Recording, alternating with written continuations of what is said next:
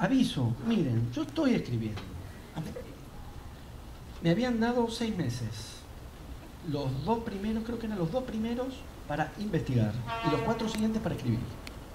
Y yo el segundo mes la tenía escrita, lo que no había hecho era, investigar. no había- mire, ya la escribí, ahora voy a investigar. Y cuando les aviso que ya la escribí, que ahora viene la investigación, también les aviso que en el texto todavía no está. なくて。